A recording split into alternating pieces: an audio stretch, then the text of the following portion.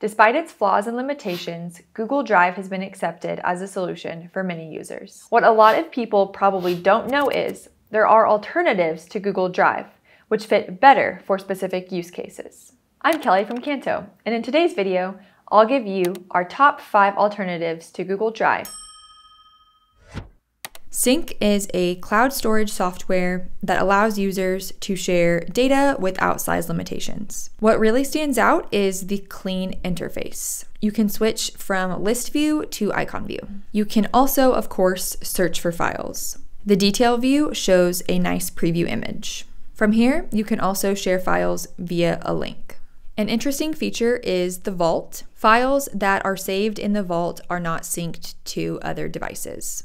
Another useful feature is the version history. You can see all previously uploaded versions of an image. There are some notable limitations with the version control feature. When I upload another image with the same file name, it automatically overwrites the older version in the same folder. Something else to note about the interface is the lack of image previews. You need to actually click on the file to see the image because there is no preview. OneDrive integrates really well into the whole Microsoft 365 ecosystem. If you've used Microsoft products before, you will easily find your way around this clean interface. As usual with Microsoft, it's organized into folders and then individual files. If I click on this image here, I get a bigger preview. And on the right side, I have very basic information on the file, such as file type, image dimensions, and so on. Let's navigate to the other folder and I am going to show you the version history feature. From this detailed view, I can click through the contents of this folder. As you can see, I just edited this image and added a little text. When I access the version history tab, I can see the various versions of the file that were added to this folder based on file name. If I want to access an older version, I can click and restore the original file.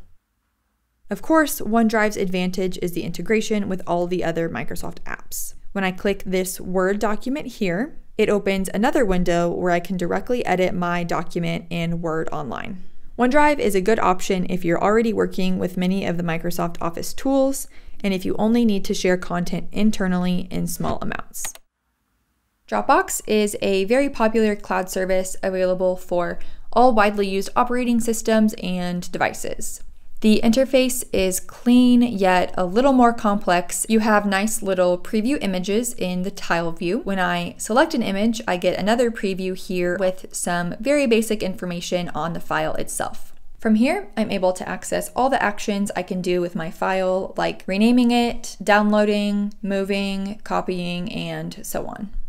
To see a bigger preview, I need to click on the preview button on the image itself. From here, I can click through all images in this folder. There is also a visual annotation feature where I can add information to an image for other users to view. To share images, I can select multiple files and use transfer to send them to users via email link.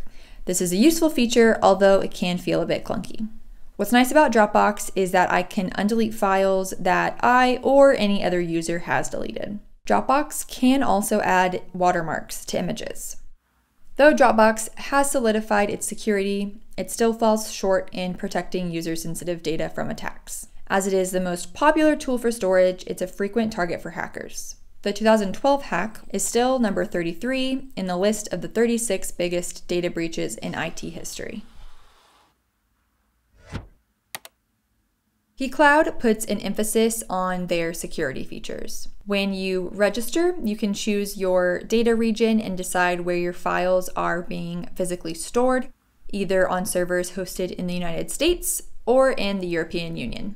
pCloud offers a simple and straightforward interface. After uploading my files, I see nice previews of my images. When I click a file and go to the bigger preview, I can slide through my images.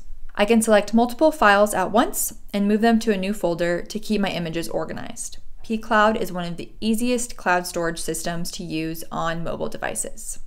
On the other hand, pCloud lacks editing capabilities, which can be a problem since editing features are crucial for storing large amounts of files in a cloud system. It also comes up short with scalability features. It requires many companies to upgrade after a short period of time.